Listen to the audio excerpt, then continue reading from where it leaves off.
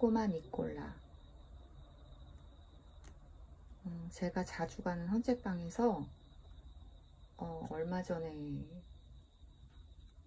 봤어요 이 책을 그런데 제가 이거 초등학교 때인가 음, 중학교 때 읽었는지 기억은 잘 안 나요. 근데 이 책을 읽었었는데 기억이 안 나는 거예요. 내용이.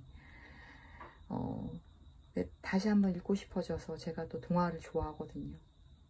뭐 어른을 위한 동화 이런 것도 있겠지만 저는 이제 아이들이 보는 동화 되게 좋아하거든요. 그래서 이 책을 들으셔보니까 정말 헌책인 거예요. 정말로. 이거 보세요. 테이프가 노란색 테이프가 덕지덕지 붙어 있고 어, 심지어는 제가 다 떨어져서 제가 부, 다 붙여놓은 그런 책장도 많아요.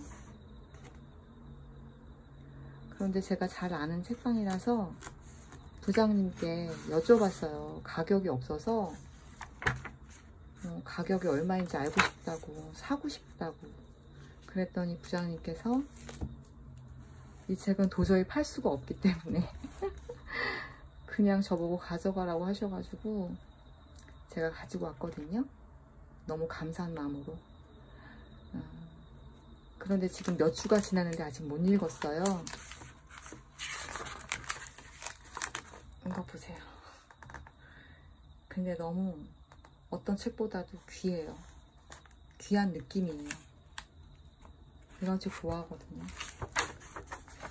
그리고 전 주인이 썼을까요? 여기 메모가 적혀져 있는데 당신이 나쁜 마음을 먹을 때 당신 책도 순환을 당할지도 모릅니다. 이렇게 메모 써놓은 게 너무 재밌었어요. 그리고 여기 나오는 아이들의 이름하고 그 친구가 어, 즉 그 친구의 특징을 설명해 놓은 그 글들이 글이 처음에 시작 서두에 있어요. 그 중에서 저는 여기 여자아이 루이제트를 어떻게 소개했는지는 한번 읽어볼게요. 내 이름은 루이제트. 여자다운 여자, 남자 같은 여자. 니콜라가 반해버린 여자 손님. 루이제트, 그 애는 정말로 멋진 애다. 난 내가 요 다음에 그냥 그 애랑 꼭 결혼해야겠다고 결심했다. 루이제트가 있었을까요? 있었나요? 기억이 전혀 안 나요. 음, 책을 한번 읽어보고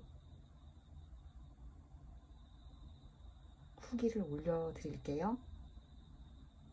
아니면 같이 읽어볼까요?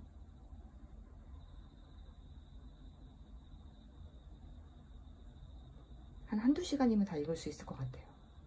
두 시간 정도? 매우 기대되는 책입니다.